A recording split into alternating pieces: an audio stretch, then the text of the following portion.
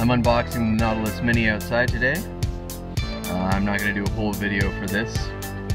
I just got this from the guys down at uh, Mojo Vapes. I'll put a link for their website in the description. I'll just do this shot by shot though. Uh, beautiful day outside, so filming outside. Don't have a tripod or anything. So yeah, take pictures as I go along. Nautilus Mini with the bottom vertical coil.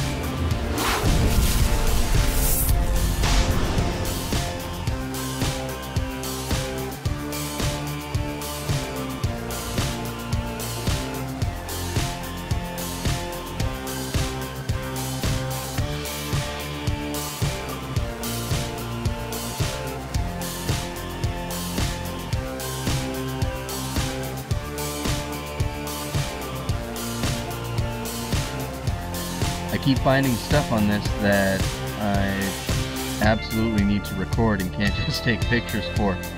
Uh, probably I'm going to keep running into that because this thing is, is beautiful. Uh, a feature that I really like here, see inside where the drip tip goes, there's no uh, bevel for the O-ring.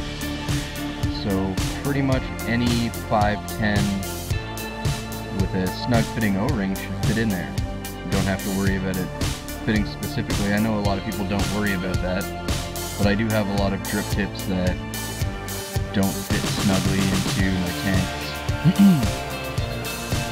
Uh, I don't think I'm gonna have a problem with this.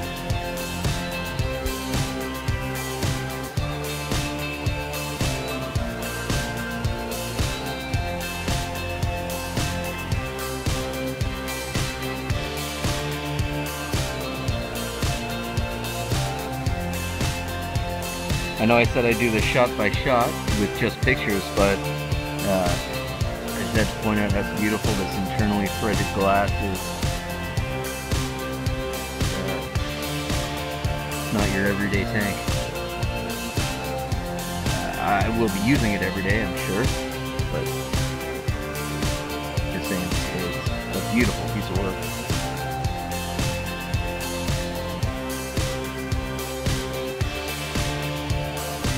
Those of you who follow my blog or follow me on Twitter will know I had some problems with my two puffs tips when they came in the vape mail. Uh, no fault of the two puffs tips themselves, the O-ring didn't quite fit into my other tank.